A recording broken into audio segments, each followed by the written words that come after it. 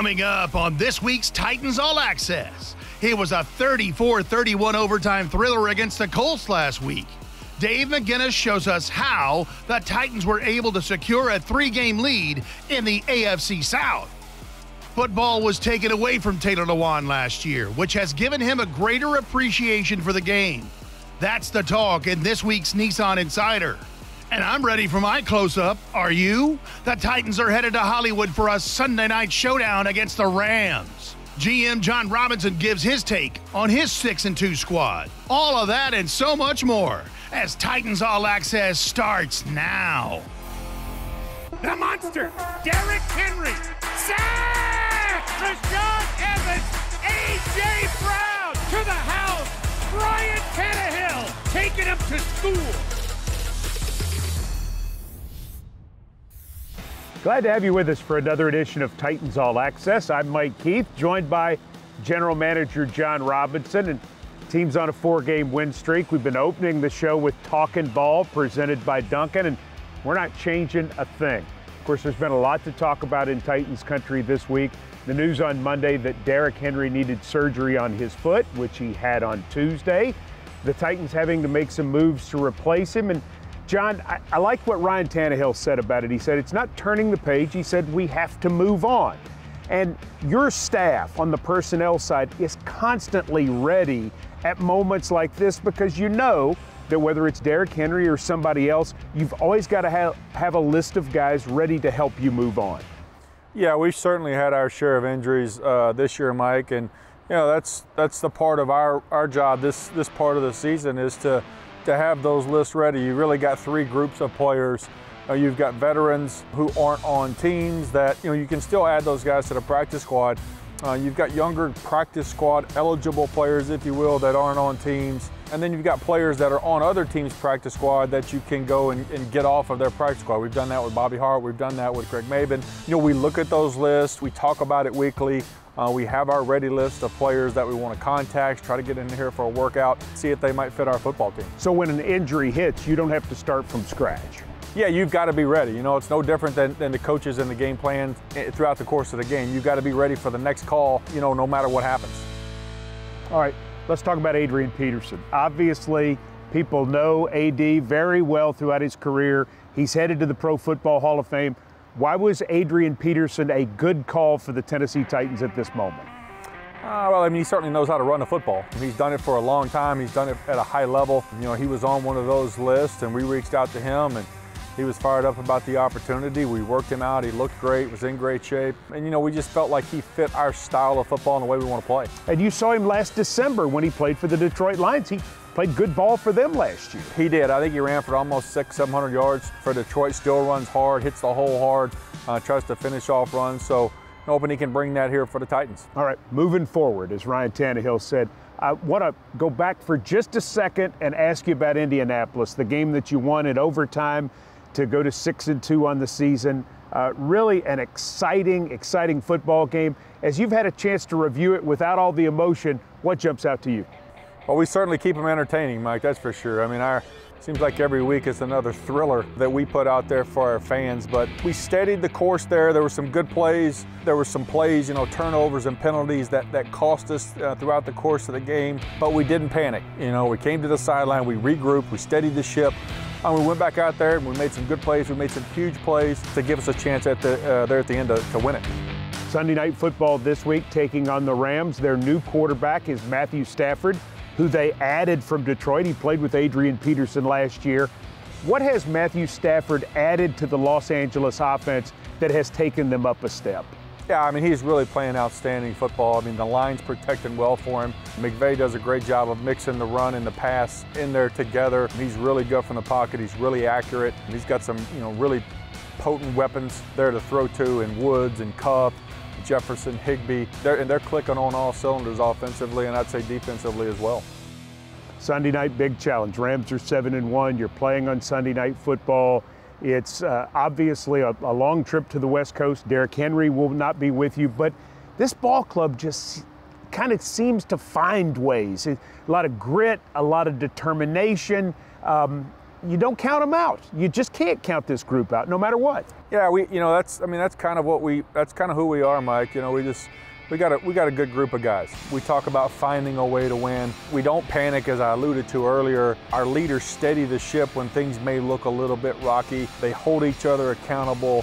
When somebody has to step up and do more, they, they do more. We work a little harder so that when the time and when your number's called, and we say it every single week in the squad meetings, you never know when your number's going to be called and you're going to have to go out and help the team win. That's the mindset we try to take each and every week into the game.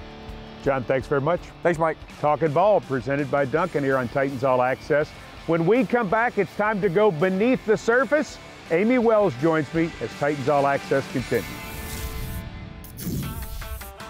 Welcome back to St. Thomas Sports Park and the bubble, and welcome to Amie Wells. I like being here in the bubble. This is nice. It's nice. Well, I wanted to make it convenient for Yeah, you. this is good. Very After convenient. the stress of last week at Lucas Oil Stadium, figured we needed to make it easy for this edition of Titans All Access. It was a very stressful game. Mike, you've seen so much football. Was that the craziest game you've ever seen?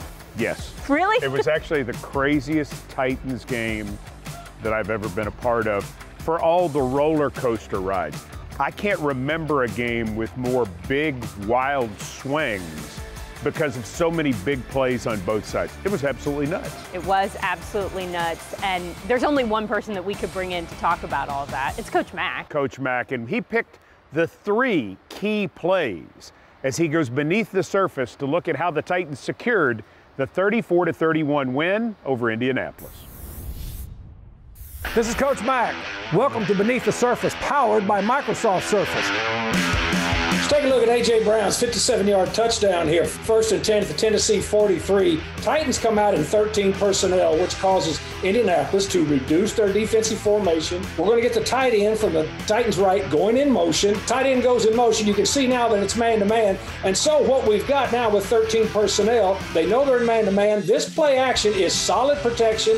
This is max protection. And Ryan Tannehill knows that he has A.J. Brown with a corner man to man on the outside with a deep safety in the middle. Perfect protection, this max protection. Look at the great pocket that he has to throw in. Beautiful throwing lane for him to launch this ball. A.J. Brown, look at the location of the football. And then A.J. Brown, what amazing athletic dexterity to stay on the sideline, tiptoe, tightrope down the sideline. Big 57 yard touchdown. Now the score is knotted at 14 14, and we've got a barn burner in Lucas Oil Stadium. Next play we're going to look at is, is 126 left in the fourth quarter. This is on the Indianapolis eight yard line. We've got 11 personnel down here. You can see that the Titans now are deployed in a nickel defense because of the 11 personnel. Frank Reich, who is the play caller for the Indianapolis Colts, dials up a screen trying to get out of the shadow of his own end zone. Very well played by the Titans defense. Tremendous pressure up front. Beautifully diagnosed by Elijah Molden that's over here on the closed side. Look at the pressure. Watch this pressure up front. Watch the pressure that we are going to get. Watch Denico Autry, watch Big Jeff, and then look look at the tremendous effort from Bud Dupree. Bud Dupree not only defeats a cut block, gets up off the ground, rolls into the quarterback, distracts the quarterback. The quarterback has to change the ball. Wentz changes the ball from his right hand to his left hand to avoid a safety. Elijah Molden very alertly diagnoses the play, is right there on the spot. Interception, touchdown. Now the Titans are up 31 24 late in the fourth quarter. Now we're looking at 626. We're in overtime. It's first and 10. Scores now 31 31. Very tight ball game. We've got 12 personnel, two tight ends, both off the line of scrimmage. Titans now, this is a zone defense. And watch Kevin Byard, who has been playing tremendous middle of the field free safety for the Titans all season long. Watch him diagnose this play. Look at him get the directional delivery key off of Carson Wentz. Carson Wentz starts to aim his shoulder over towards Byard's right. Byard breaks perfectly on the football, goes right to the exact interception point, cuts in front of the ball, interception up the sideline to set up Randy Bullock for another game winning field goal. Titans win a thriller in overtime. As you know, up next for the Tennessee Titans, a trip to see the Los Angeles Rams, who have a new quarterback. They absolutely do. Matthew Stafford seems to be enjoying his time in Los Angeles. Yes, Matthew Stafford is new to the Rams, But he's not new to us because the Titans saw him when he was a Lion last December. We'll look at his performance in that game and talk Matthew Stafford when Titans All Access continues after this. Titans defense has quite a challenge this week as they take on a Rams offense averaging more than 400 yards per game, more than 300 yards passing, behind their new quarterback, Matthew Stafford, in his 13th year out of Georgia. Now, the Titans haven't seen the Rams recently, but they have seen Matthew Stafford when he was still with the Lions in Detroit. They played him in 2020. If you don't remember that game, well, here it is. The story of that week was that Matthew Stafford would likely not play at Tennessee in Week 15. Stafford suffered a rib cartilage injury on a six yard run against Green Bay in the previous game. And why would Matthew Stafford play? In his 12th season with his head coach having already been fired, careening towards another losing season in Detroit, with rumors everywhere that he would be traded in the offseason, why play in a game that meant nothing to his team? But Stafford chose to play in Nashville and played well. Down 7 to nothing, he took the Lions down the field for a first quarter touchdown to tie the game. He hit Marvin Jones with a 39 yard pass that pulled Detroit within six late in the first half. Midway through the third quarter, Stafford's arm was still on display as he completed this 36 yard pass to keep the Lions within one score. The Titans would pull away in the final 20 minutes, it was the familiar faces doing the damage Derrick Henry and Ryan Tannehill, and then more Derrick Henry. And eventually, Stafford left the game, but not before he completed 22 of 32 passes for 252 yards and a touchdown. He impressed everyone not just with his obvious talent, but with his desire to play on a day when few thought he would or should. That's why, when Matthew Stafford was traded to the Rams on St. Patrick's Day, people who knew football knew this would be a perfect fit. A very talented, experienced quarterback in a great offensive system with an exciting new lease on his football life that he clearly loves.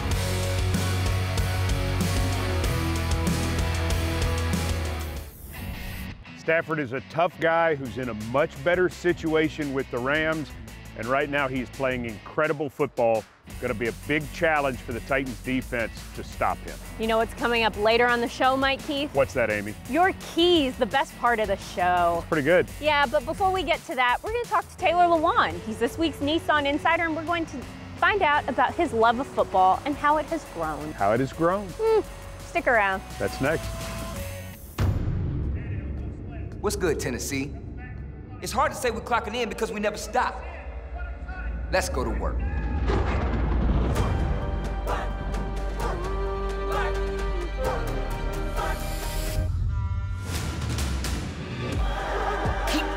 Work, Tennessee. We will too. Titan up. Welcome back to Titans All Access. Left tackle Taylor Lewan had his season cut short in 2020 when he tore his ACL, but he's back in 2021 and he's playing some good football. Mike Keith had the chance to sit down with him in this week's Nissan Insider to talk about how his appreciation for the game of football has grown.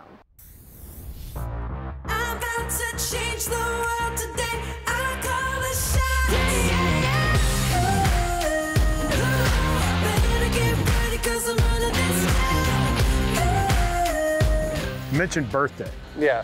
You just had one. I know. I don't really want to talk about it. I turn you the don't? Big, turn the big 3-0, man. This is when they start talking about replacing you. No, you know not necessarily. But uh, 30 is an interesting birthday wherever you are in your life because it's like a, I don't want to say it's a wake-up call, but it's a little startling because you're like, I'm not in my 20s anymore. College is in the rearview mirror. High school is really in the rearview mirror. I got the wife and kids. I got that thing going. Is it that way for you? For me, um, the the age thing is just a number to me. Like um, it's a, I think I mean I woke up at 30 and felt the same way as I felt at 29, the same way I felt at 28, and um, it's humbling though. It's humbling when you've been able to play a game that a lot of people don't get to play into their 30s. And I think that's a that was a really cool thing to kind of accomplish. Where is Taylor Lewan different as a person and as a football player at 30 than, say, you were at 22, 23? I'm probably a lot more grateful. I think um, my last two years of my career, a lot of guys, um, when they go through the two years that I went through with the PED in 2019 and then tearing their ACL in 2020, a lot of guys keep acting like they're on top. I just spent a lot of time on myself this offseason in a place that wasn't fun, uh, emotionally, mentally, and spiritually. And you know, in times of adversity, you really figure out who you are. And I figured out a couple things. I figured out that I'm way more grateful to play this game than I've ever been in my life. But I also know that you know I can handle a lot of things and you know take it on the chin and keep moving forward. The main word I keep running back to is grateful and humbled because yeah, I'm still going to be me. I'm still going to you know talk trash. I'm still to go play as, as hard. But I think a lot of fans will hopefully notice that for me, being on the field is a, is a, is a gift I don't want to lose. And so I'm very happy. So it sounds like you have not only more appreciation for your football career, but it seems like you come into 2021 with more of a sense of responsibility, with more of a sense of purpose in terms of, of where you want to not only protect the left side of the line for the Titans, but also to kind of put yourself back on the mountaintop as the best left tackle in the NFL. Yeah, and I think, I mean, that's the goal every single year. I know, I know what I'm capable of. I started last season. I only played five games. Penalties was a huge deal for me. I had zero penalties in 2020. I had zero sacks in 2020, and it's just going back to what I know I can do. I think there's a lot of checks to be cashed as far as the success that I've put myself in, or the opportunity to put myself in. What did your wife do for you in the process of coming back from the first, as you said, the first major injury of your Yeah. entire career? When I played my first year, I was I was uh, I made the All Rookie team. I didn't start for the first six games. Michael Roos got hurt, and I made All Rookie team. My second year uh, was an underwhelming performance. Three and 13. I know there's a specific game that I joke around with Paul Kuharsky quite a bit that I got dummied by Whitney Mercilus. There was a, a mood point for my career. How was that going to look? And I remember it was we had the first pick in the draft. Everyone was talking about Laremy Tunsil. Draft Laremy Tunsil. That's the guy, and we're going to move Taylor to right. Well, in my head, I'm not going to right. I play left tackle. I played left tackle since I was a senior in high school. And that offseason, I met my wife. When I met my wife, it wasn't about like I've dated other people, but there was no one I've ever met that was like her, that wouldn't put up with the BS, that was she's literally been the rock the entire time. My wife is she's like me from a personality standpoint. She jokes on people. She has, but there's a soft side of her. The way she is able to, her her emotional maturity is beyond anybody I've ever met in my life. And her, for her to be able to look at things while I'm telling her something, well, this pissed me off and I didn't like this, for her to look at it, dissect it, and usually starts with, what did, what did you do? I owe my career to her. She is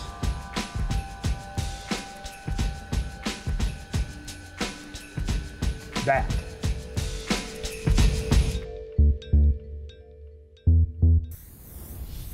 Lot of Titans All Access left, you guys, including the best part of the show, Mike Keith's Keys. Stick around. Wentz under center. Play fake and a deep drop. Fires downfield. The ball is intercepted. Fired. 40, 35. Alie-Cox gets him out of bounds at the 31. The mayor of Murfreesboro. He'll get reelected after that. Out of the hold of Brett Kern. Snap. Set. Kick. Yes! That was so good! Randy Bullock and the Titans with a treat at Lucas Oil Stadium.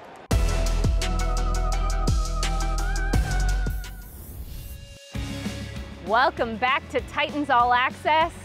The moment has arrived, Mike Keith. Your keys to beating the Los Angeles Rams. The offensive line has to own it. This has to be a game on Sunday Night Football where the Titans, five guys up front, win, win, win. Whether the Titans are running the football, even if it's without Derrick Henry, or in the pass game, protecting Ryan Tannehill and giving him time. A bunch of good pass rushers on the front for the Rams. The Titans' offensive line has to play their best game of the year. They have to win, win, win. All right, Mike Keith, what is key number two? Big special teams play. Titans need one. This is a team that has given up some returns, particularly in the kickoff section. You can make a play in the return game. Maybe it's Chester Rogers, maybe it's somebody else. But the Titans need to make a big play on special teams. This is an area where the Rams have had concern the Titans may be able to take advantage and steal points on teams. All right, the third and final key. The third and final key is heat up Matthew Stafford with inside pressure. I'm talking about Big Jeff and Denico Autry in particular. Larrell Murchison would factor into it, as would probably some interior blitzing linebackers.